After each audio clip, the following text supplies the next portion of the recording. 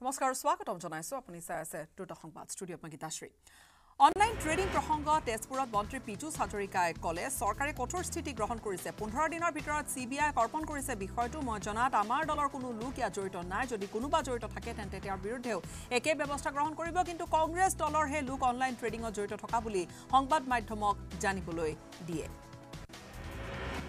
A D R পৰীক্ষা কেন্দ্ৰত চেকিঙৰ নামত মহিলা আৰক্ষীৰ বিৰুদ্ধে নিৰ্যাতন চলোৱা অভিযোগত এগৰাকী যুৱতীয়ে ক্ষোভ প্ৰকাশ কৰিছে। এ ডি আৰ পৰীক্ষাৰ পৰীক্ষাৰ্থীগৰাকীয়ে সামাজিক মাধ্যমযোগে প্ৰকাশ কৰিলে। নিজৰ ক্ষোভ নলবাৰী জিলাৰ বেলচৰস্থিত শ্বহীদ স্মৃতি ছিনিয়ৰ ছেকেণ্ডেৰী স্কুলখনৰ পৰীক্ষা কেন্দ্ৰত সংঘটিত হৈছিলে এই ঘটনা। অভিযোগ অনুসৰি চেকিঙৰ নামত মহিলা আৰক্ষী জোৱানে শৰীৰৰ বিভিন্ন স্থানত হাত দিছিল। প্ৰাৰ্থীগৰাকীৰ যুৱতী প্ৰাৰ্থীগৰাকীয়ে উত্থাপন কৰিছে। গুৰুতৰ অভিযোগ ভৱিষ্যতে জানে এনে নহয় তাৰ বাবে মুখ্যমন্ত্ৰীক ব্যৱস্থা ল'বলৈ কৰিছে আহ্বান। এ ডি আৰ ই পৰীক্ষাত সামাজিক মাধ্যমত অভিযোগ অনা যুৱতীগৰাকীৰ ঘৰত দেওবাৰে নিশা উপস্থিত হ'ল আৰক্ষীৰ এটা দল বেলচৰ আৰক্ষী আৰু নলবাৰী সদৰ আৰক্ষীৰ দল। যুৱতীগৰাকীৰ ঘৰত উপস্থিত হৈ ঘটনাৰ বিষয়ে সোধা পোছা কৰে। ইতিমধ্যে সমগ্ৰ অভিযোগক লৈ তদন্ত ঘোষণা কৰিছে। আৰক্ষী সঞ্চালক প্ৰধানৰ তদন্তৰ ঘোষণাৰ পিছতে ডি আই জি ইন্দ্ৰাণী বৰুৱাক এই সন্দৰ্ভত তদন্তৰ দায়িত্ব দিয়া হৈছে। যুৱতীগৰাকীয়ে শ্লীলতা হানিৰ অভিযোগ অনাৰ পিছতে প্ৰাথমিক তথ্য সংগ্ৰহ কৰিছে নলবাৰী আৰক্ষীয়ে। নলবাৰীৰ কেইবাগৰাকীও যুৱতীয়ে সামাজিক মাধ্যমত আনিছে গুৰুতৰ অভিযোগ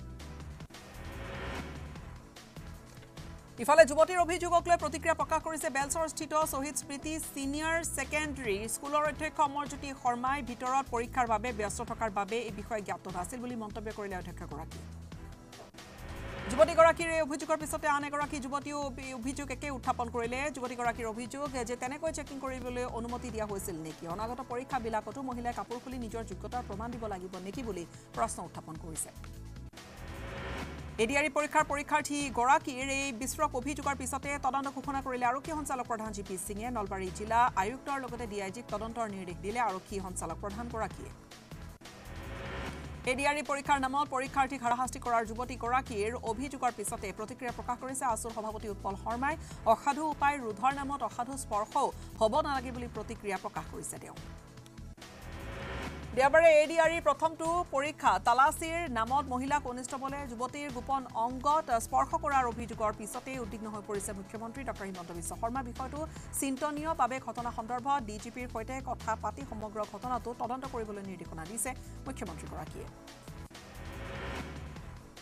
এ ডি আৰ ই পৰীক্ষাক লৈ দুগৰাকী যুৱতী প্ৰাৰ্থীয়ে কৰা অভিযোগৰ পিছতে তৎপৰ হৈ পৰিছে মুখ্যমন্ত্ৰী। মহিলা প্ৰাৰ্থীক তালাচী কৰিবলৈ গঠন কৰা হ'ব। এতিয়াৰে পৰা এছ অ' পি। পৰৱৰ্তী পৰীক্ষাৰ পূৰ্বে তৈয়াৰ হৈ উঠিব এছ অ' পি।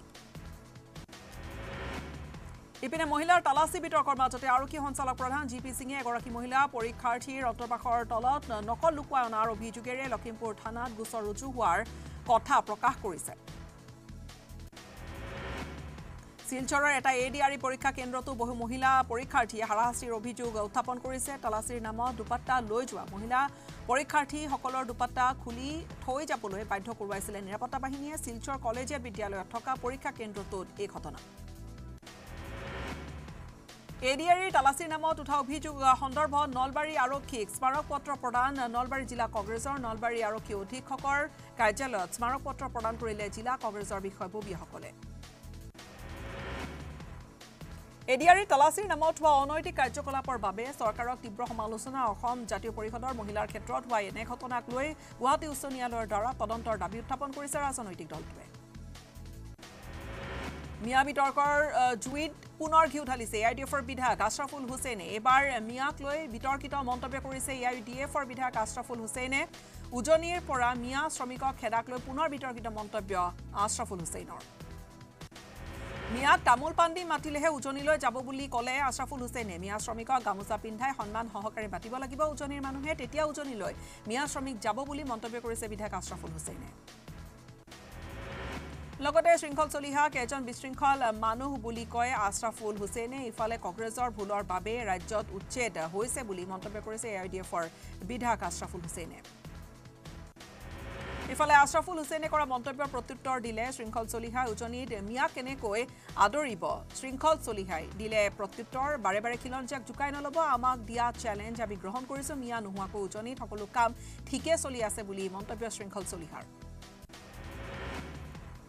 এইখন মিয়াই সৃষ্টি কৰা অসম নহয় উজনি অসমত মিয়া মুছলমানৰ প্ৰয়োজন। নাই বুলি মন্তব্য টাই আহোম যুৱ পৰিষদ অসমৰ সভাপতি বিজয় ৰাজপৰাৰ উজনিত গামোচা আৰু তামোলৰ বঁটাৰে মিয়া মানুহক আদৰিবলৈ বিধায়ক আশ্ৰাফুল হুছেইনে আহ্বান জনোৱাৰ পিছতে দিলে প্ৰতিক্ৰিয়া এই ধৰণে।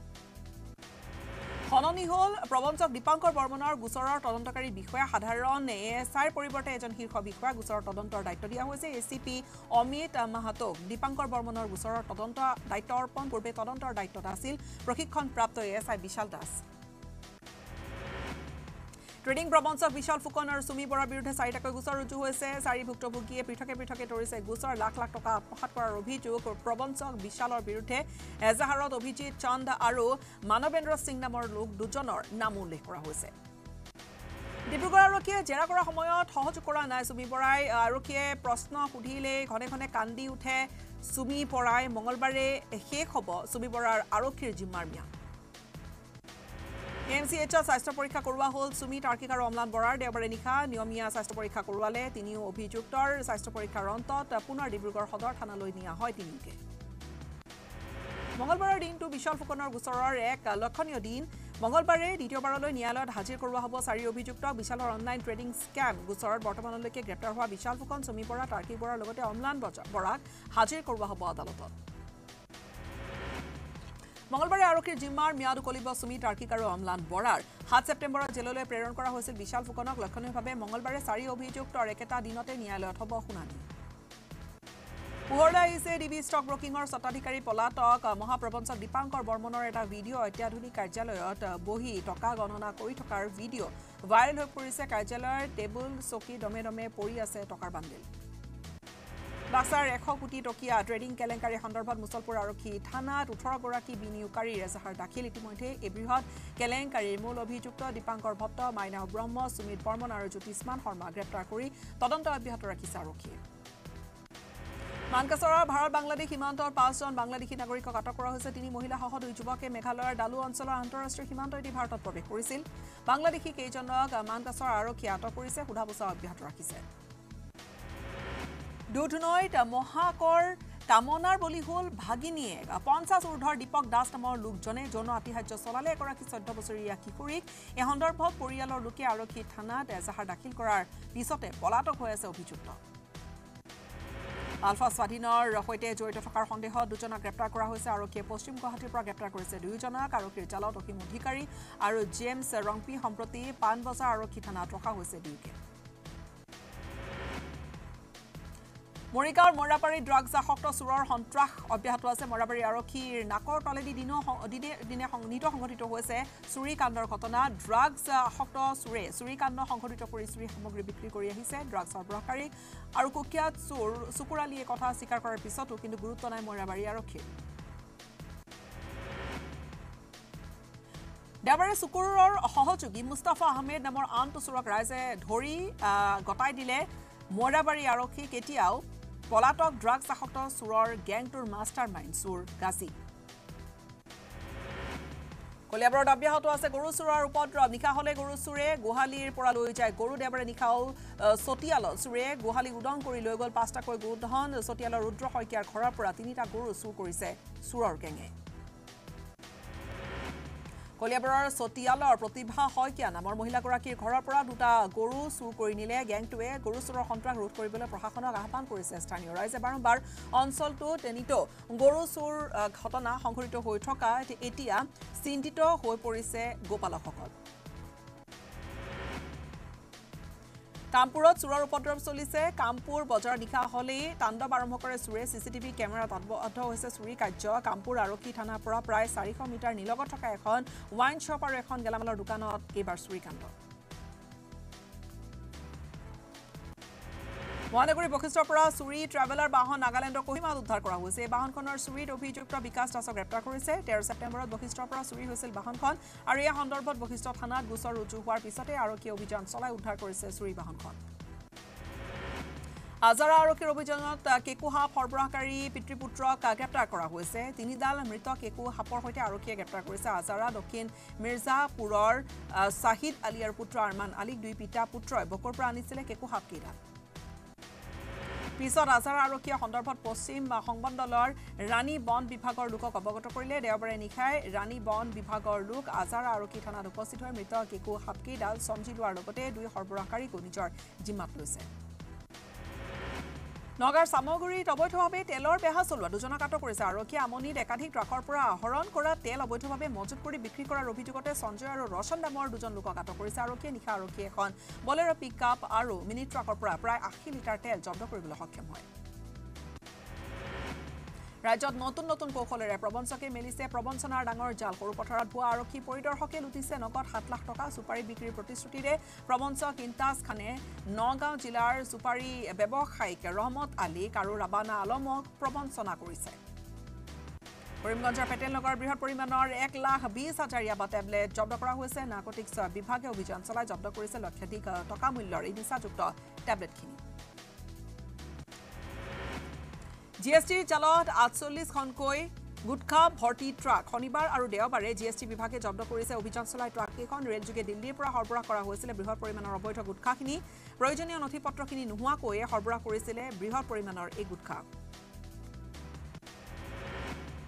আৰক্ষীৰ অতিহাৰ্য যুৱকে আত্মহননৰ দৰে পথ বাছি লোৱাৰ গুৰুতৰ অভিযোগ উত্থাপন হৈছে। তামোলপুৰ আৰক্ষী থানাৰ অন্তৰ্গত নাগৰিজুলি আৰক্ষী চকীৰ ভাৰপ্ৰাপ্ত বিষয়া আৰু হাৰিয়ানাৰ দুই আৰক্ষীৰ ওপৰত এজাহাৰ দাখিল কৰিছে ভুক্তভোগী পৰিয়ালে। তামোলপুৰ জিলাৰ ইকৰাবিল গাঁৱৰ ৰতন দাসৰ আত্মীয়ই হাৰিয়ানাৰ পৰা পলুৱাই আনিছিলে এগৰাকী নাবালিকাক। নাবালিকাক পলুৱাই অনাৰ অভিযোগৰ ভিত্তিতে তেৰ ছেপ্টেম্বৰত হাৰিয়ানা আৰক্ষী আৰু তামোলপুৰ আৰক্ষীয়ে ৰতন দাসৰ ঘৰত আহি সোধা পোছা কৰিলে। পুনৰ চৈধ্য ছেপ্টেম্বৰত ৰতন দাসৰ কনিষ্ঠ পুত্ৰ মানিক দাসক নাগৰিজুলি আৰক্ষী চকীলৈ নি হাৰাশাস্তি কৰাৰ গুৰুতৰ অভিযোগ। পৰিয়ালটোৰ আৰক্ষী চকীৰ পৰা নিশা পৰিয়ালৰ লোকে মানিক দাসক নিজ ঘৰলৈ জামিনত লৈ আহে যদিও পুৱা পুনৰ আৰক্ষী চকীত হাজিৰ হ'বলৈ কৈছিল। ইফালে নিশাই মানিকে বাছি লোৱা আত্মহননৰ চূড়ান্ত পথ। কাছাৰৰ লাইলাপুৰত ভি ডি পি কৰ্মী এগৰাকী অষ্টম শ্ৰেণীৰ ছাত্ৰীক ধৰ্ষণৰ চেষ্টা কৰাৰ অভিযোগ উঠিছে। ধৰ্ষণৰ অপচেষ্টা চলোৱা ভি ডি পি কৰ্মী মায়াজুল আলী লস্কৰৰ বিৰুদ্ধে ছাত্ৰীগৰাকীৰ পিতৃয়ে আৰক্ষী থানাত ইতিমধ্যে গোচৰ ৰুজু কৰিছে।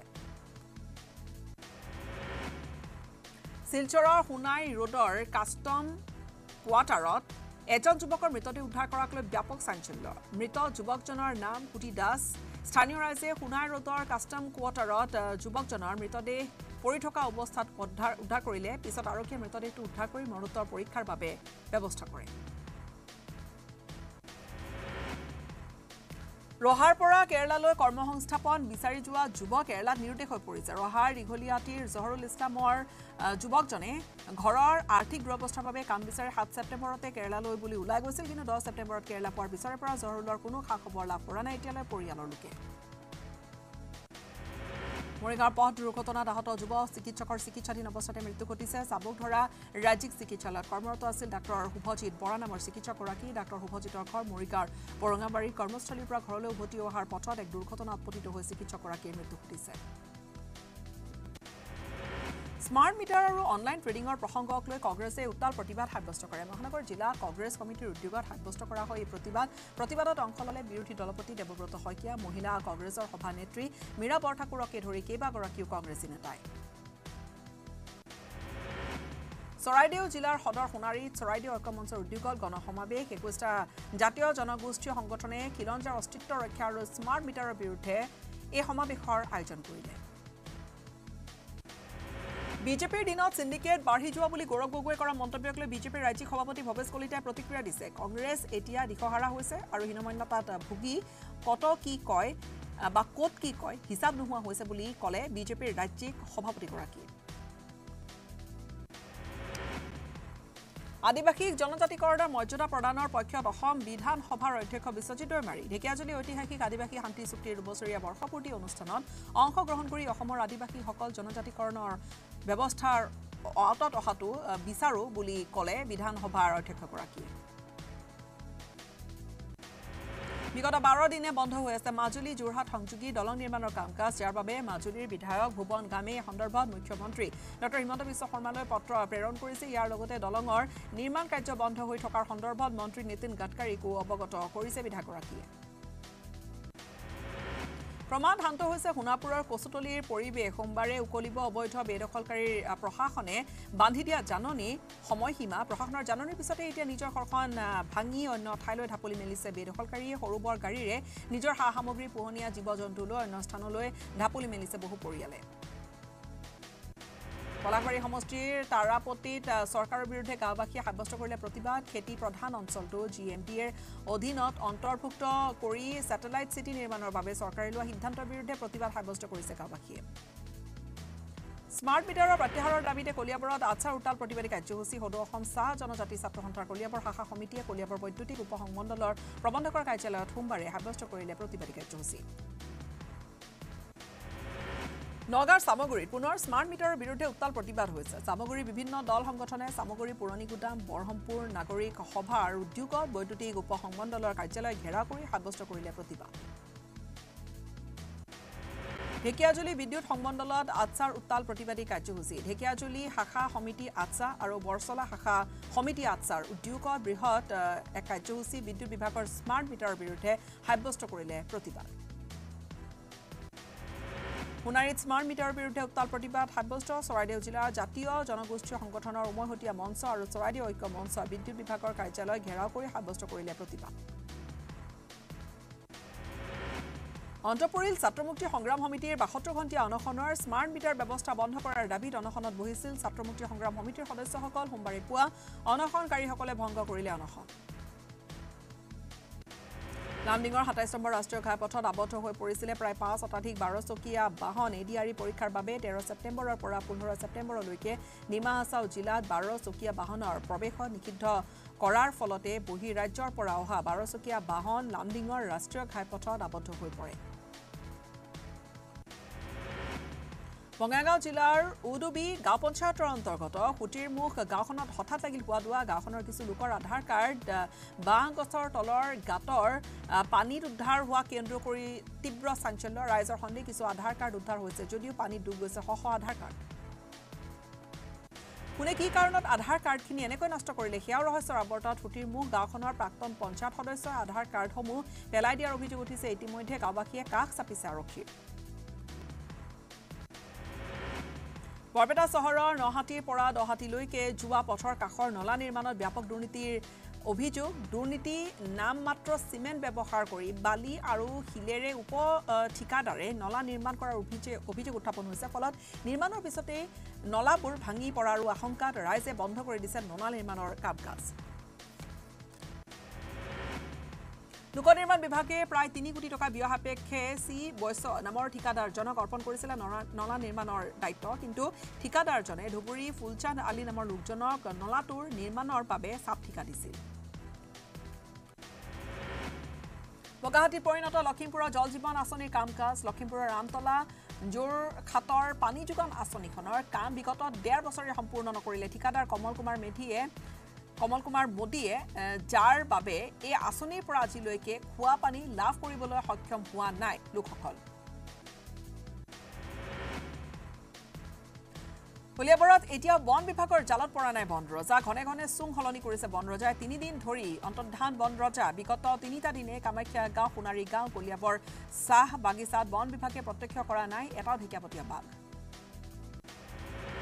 বন ৰজা গতিবিধি নিৰীক্ষণৰ বাবে স্থাপন কৰা নটাকৈ চেন্সৰ কেমেৰাৰ স্থান সঘনাই সলনি কৰিছে। যদিও কেমেৰাত আবদ্ধ হোৱা নাই বাঘৰ গতিবিধি কামাখ্যা গাঁৱত স্থাপন কৰা পিঞ্জৰাত ছটা দিনে বন্দী নহল বন ৰজা বন বিভাগে দিনে নিশাই নিয়মিত টহলৰ ব্যৱস্থা কৰিছে বাঘৰ বিচৰণথলীত বন ৰজাৰ ভয়তে বিদ্যালয় এৰিছে কলিয়াবৰাৰ নাম কামাখ্যা প্ৰাথমিক বিদ্যালয়ৰ কণকণমানি ছাত্ৰ ছাত্ৰীসকলে বাঘৰ মুক্ত বিচৰণৰ বাবে অভিভাৱকসকলেও বিদ্যালয়লৈ নপঠোৱাৰ সিদ্ধান্ত লৈছে। সোমবাৰৰ দিনটোত বিদ্যালয়খনত উপস্থিত থাকিল মাত্ৰ বাইছগৰাকী ছাত্ৰ ছাত্ৰীহে এঘাৰ ছেপ্টেম্বৰত বিদ্যালয় চলি থকা সময়তে বিদ্যালয় চৌহদৰ কাষেৰে বাঘ পাৰ হৈ গৈছিল। প্ৰকাণ্ড ঢেকীয়াপতীয়া বাঘ আছিল। বিদ্যালয়খনৰ ছাত্ৰ ছাত্ৰীয়ে প্ৰত্যক্ষ কৰিছিলে বাঘৰ বিচৰণ। এই ঘটনাৰ পিছৰে পৰা ছাত্ৰ ছাত্ৰীৰ উপস্থিতি ক্ৰমান্বয়ে হ্ৰাস হৈছে বিদ্যালয়খনত। মৰিয়নীত অথলে গ'ল কৃষকৰ হাৰ ভঙা পৰিশ্ৰম। বন্যহস্তীয়ে খাই তহিলং কৰিলে সেউজীয়া ধাননি পথাৰ গিবন অভয়াৰণ্যৰ পৰা দেওবাৰে নিশা খাদ্যৰ সন্ধানত ওলাই আহিল ডাঙৰ হাতীৰ জাক এটা। মৰিয়নী নকচাৰী তিৰুৱাল ভেটা পথাৰত চলালে উপদ্ৰৱ। হাজো বিধানসভা সমষ্টিৰ অন্তৰ্গত হিৰাজনী বুল্লুত সংযোগী পথৰ দুৰাৱস্থা দেখুৱাইছোঁ হিৰাজনী গাঁওখনৰ অঞ্চলটোত পথৰ বৃহৎ অংশত বছৰৰ ছমাহে পানী ভৰি থাকে। যাৰ ফলত অঞ্চলটোলৈ এতিয়া নোহোৱা হৈছে আন ঠাইৰ লোকসকল। পথটোৰ মেৰামতিৰ ক্ষেত্ৰত জনপ্ৰতিনিধিয়ে গুৰুত্ব একেবাৰে প্ৰদান নকৰাৰ অভিযোগ। গোৱালপাৰাৰ জলেশ্বৰত ভয়ংকৰ অগ্নিকাণ্ড জুইত সম্পূৰ্ণৰূপে ভস্মীভূত দুখনকৈ বিলাসী দুখনকৈ যাত্ৰীবাহী বাছ ভয়াৱহ অগ্নিকাণ্ডৰ পৰা কথমপি ৰক্ষা পৰিছে কেইবাখনো দোকান। দেওবাৰে নিশা জলেশ্বৰ বজাৰৰ বাছ আস্থানত ৰখাই থোৱা অৱস্থাতে বাছত অগ্নিকাণ্ডৰ সূত্ৰপাত ঘটে। কাজিৰঙা পৰ্যটনত নৱতম সংযোজন। দুই অক্টোবৰৰ পৰা কাজিৰঙাৰ পৰ্যটকৰ বাবে কাজিৰঙা মুকলি হ'ব। আকৰ্ষণীয় ভিণ্টেজ কাৰ চাফাৰী মুকলি কৰা হ'ব। আৰু জীপ চাফাৰী হাতী চাফাৰী নাও চাফাৰী কৰাৰ পিছত এতিয়া পৰ্যটকে লাভ কৰিব এসময়ৰ অভিজাত্য আৱেগ স্বৰূপ ভিণ্টেজ কাৰত চাইট চিং কৰাৰ বিশেষ মাদকতা।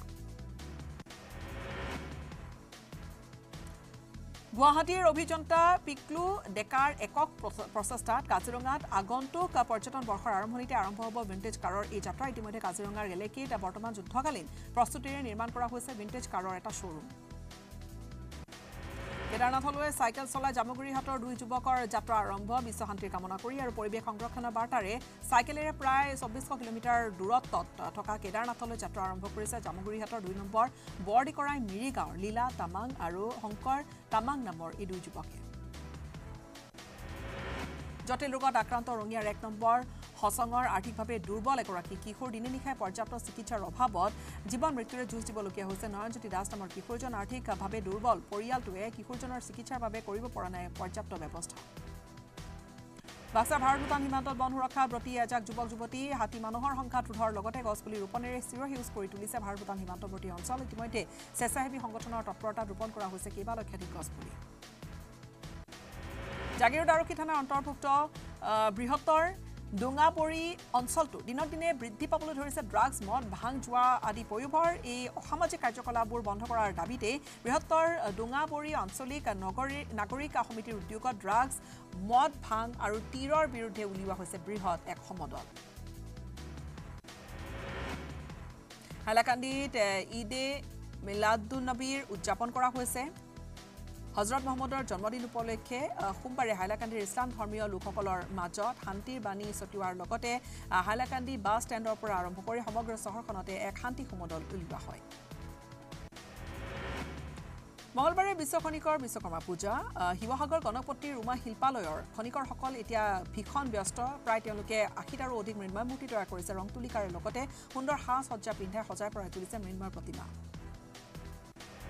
মঙলবাৰে বিশ্বকৰ্মা পূজাৰ এই পূজা উপলক্ষে ৰঙী ৰং বিৰংগী ফুলৰ মালাৰে ভৰি পৰিছে। কলাগাঁৱৰ বিপণীসমূহ দহ টকাৰ পৰা দুশ টকা পৰ্যন্ত। বিভিন্ন ৰং বিৰংগী ফুলৰ মালা উপলব্ধ হৈছে দোকানসমূহত।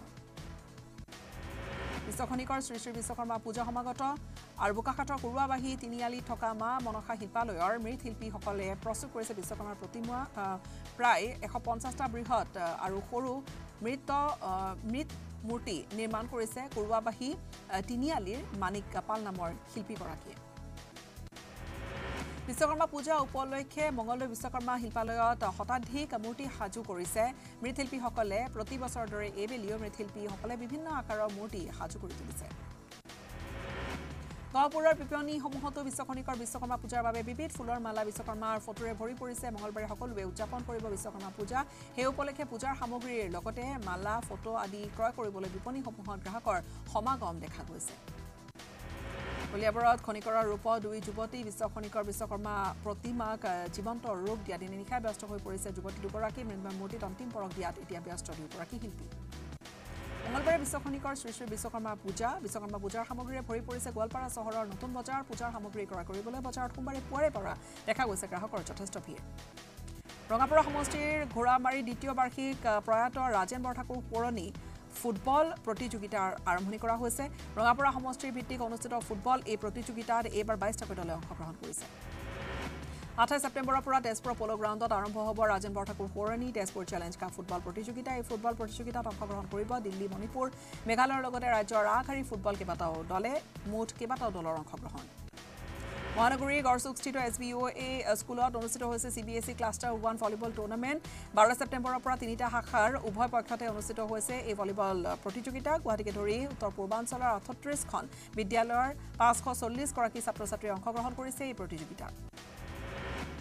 দ্বিতীয়বাৰৰ বাবে ডনাল্ড ট্ৰাম্পক হত্যাৰ চেষ্টা কৰা হ'ল ফ্লৰিডাৰ ৱেষ্ট পাম বিচত গল্ফ খেলি থকা ট্ৰাম্পলৈ একেই চিৰিজৰ ৰাইফলেৰে গুলীবাৰ চেষ্টা দুৰ্বৃত্তৰ এফ বি আই গ্ৰেপ্তাৰ কৰিছে দুৰ্বৃত্তটোক ট্ৰাম্প এতিয়া সুৰক্ষিত বুলি প্ৰকাশ কৰিছে আমেৰিকাৰ নিৰাপত্তা তথা তদন্তকাৰী সংস্থাটোৱে। সোতৰ ছেপ্টেম্বৰত প্ৰধানমন্ত্ৰী নৰেন্দ্ৰ মোদীৰ জন্মদিন। উপলক্ষে তামিলনাডুৰ এগৰাকী স্কুলীয়া ছাত্ৰীৰ এটা অভিনৱ প্ৰচেষ্টা বাৰ ঘণ্টা ধৰি শস্য আৰু মচুৰ দাইলেৰে প্ৰধানমন্ত্ৰী নৰেন্দ্ৰ মোদীৰ প্ৰতিকৃতি তৈয়াৰ কৰিছে প্ৰেছলি শ্বেকিনা নামৰ ছাত্ৰীগৰাকীয়ে। প্ৰধানমন্ত্ৰী নৰেন্দ্ৰ মোদীৰ জন্মদিনৰ পূৰ্বে গুজৰাটৰ চুৰাটত দেখিবলৈ পোৱা গৈছে এটা অভিনৱ ডিছকাউণ্ট আৰু অটো ৰিক্সা দোকান আৰু শ্বপিং মলসমূহত ওঠৰ ছেপ্টেম্বৰত মোদীৰ উপজাৰ দিন উপলক্ষে বিশেষ ৰেহাই দিয়াৰ পোষ্টাৰ দেখিবলৈ পোৱা গৈছে। সলনি হ'ব বন্দে ভাৰত এক্সপ্ৰেছৰ নাম এতিয়াৰ পৰা নতুন নাম হ'ব নমো ভাৰত ৰেপিড ৰেল। দেশৰ প্ৰথমখন নমো ভাৰত ৰেপিড ৰেল উপহাৰ দিবলৈ সাজু কেন্দ্ৰ। নিউজ এইটিনে আৰম্ভ কৰিছে শ্ৰী শক্তি শীৰ্ষক এটি এটি বিশেষ অভিযান। ৰাষ্ট্ৰপতি দ্ৰৌপদী মুৰ্মুৱে নিউজ এইটিনে আৰম্ভ কৰা এই শ্ৰী শক্তি অনুষ্ঠানক ভূয়সী প্ৰশংসা কৰাৰ লগতে দেশবাসীলৈ শুভেচ্ছা জ্ঞাপন কৰে। সোমবাৰে আহমেদাবাদত প্ৰধানমন্ত্ৰী নৰেন্দ্ৰ মোদীয়ে মুকলি কৰিলে মেট্ৰ' ৰেলৰ প্ৰজেক্ট। আহমেদাবাদ মেট্ৰ' ৰেল প্ৰকল্প উদ্বোধনৰ পিছত গুজৰাটৰ ৰাজ্যপালক আচাৰ্য দেৱব্ৰত আৰু মুখ্যমন্ত্ৰী ভূপেন্দ্ৰ পটেলৰ সৈতে প্ৰধানমন্ত্ৰী নৰেন্দ্ৰ মোদীয়ে মেট্ৰ' ৰেলত যাত্ৰা কৰে। জম্মু কাশ্মীৰৰ কিস্তৱাৰত নিৰ্বাচনী ৰণসিঙা বজালে কেন্দ্ৰীয় মন্ত্ৰী অমিত শ্বাহে। ওঠৰ ছেপ্টেম্বৰত জম্মু কাশ্মীৰৰ প্ৰথম পৰ্যায়ৰ ভোটগ্ৰহণ পঁচিছ ছেপ্টেম্বৰ আৰু এক অক্টোবৰৰ ক্ৰমে দ্বিতীয় আৰু তৃতীয় পৰ্যায়ৰ নিৰ্বাচন।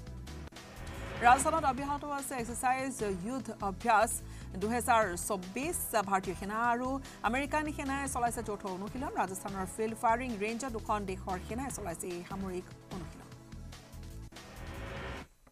ইয়াৰ সৈতে বিদায় ল'ম। নমস্কাৰ।